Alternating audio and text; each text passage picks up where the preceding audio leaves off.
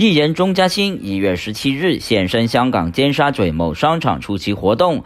钟嘉欣这次在香港停留两天，他表示原本一家人打算在香港过年，但是之后决定回加拿大庆祝。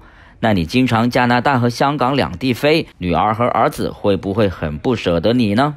其实呢，因为我都飞过都好多次了，所以我的女儿还有儿子呢都开始习习惯了。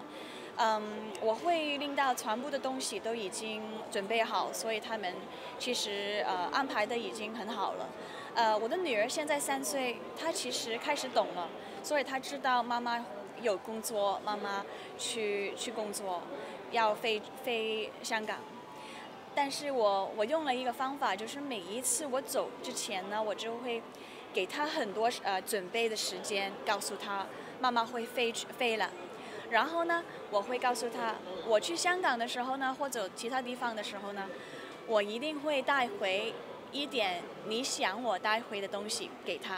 其实是不是女儿和儿子平常可以互相作伴，两个小朋友不会那么闷，并且有爸爸贴心照顾，所以才更理解妈妈的工作呢？对，因为啊啊，我现在有两个孩子。那两个孩子呢？他们的关系非常非常相亲相爱，很很好。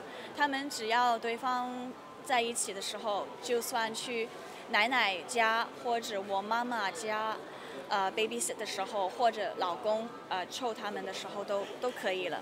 另外，问到钟嘉欣老公支不支持她付出目前时，钟嘉欣就表示，老公的性格很无所谓。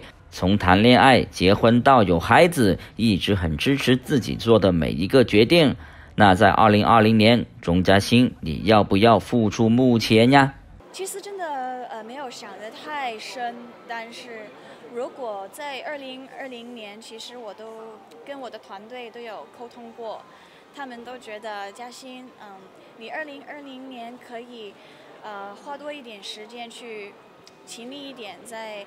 在在你的工作嘛，他们觉得很需要我，因为觉得希望我可以带多一点的正能量去这个世界。